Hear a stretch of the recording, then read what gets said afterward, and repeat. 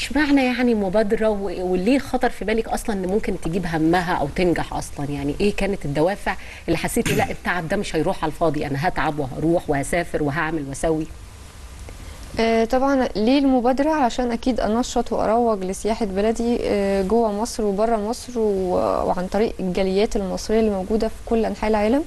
قدرت أتواصل معاها ولقيت إن في هما بيطلبوا مني إن أنا أعمل videos وأديها لهم عشان ينشروها عندهم فلقيت في بدايات نجاح.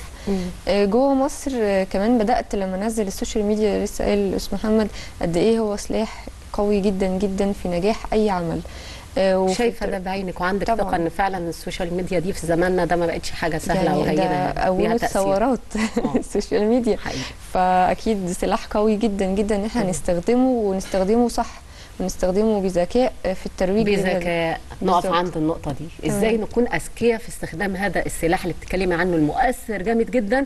في صالحنا وفي أعمال حاجات إيجابية ترجع علينا بالنفع. عملتي ده إزاي؟ آه، بدأت إن أنا أصور videos بتقنية كويسة جدا. يعني أول ما بدأت ما كانتش بتقنية كويسة قوي كنت بصور بسيلفي عادي جدا فيديو مم. بس وأنا واقفة جوه المكان وبشرحه بطريقة بابتسامة زي ما قال أستاذ محمد يعني ال- الناس بتتقبل المكان عن طريق اللي بيشرحه مفتاح كل الأبواب اللي بتسلم بالظبط طبعا يعني أكيد مش هقف مكشرة وأقول لهم المكان ده لازم تيجوا فيه وتعملوا طبعاً. لا طبعا مم. فالناس بدأت وبالذات الأماكن اللي مش معروفة قوي يعني في أماكن كتير في مصر فعلا وإحنا عندنا يعتبر جميع أنواع السياحة وكنا لسه بنتناقش أنا وأستاذ محمد قال في موجود 24 نوع سياحة في مصر من 28 نوع يعني يعتبر عندنا كل المقومات السياحية. آه، فليه ما اعملش مبادرة؟ ليه ما لل- للمنتج السياحي بتاعنا؟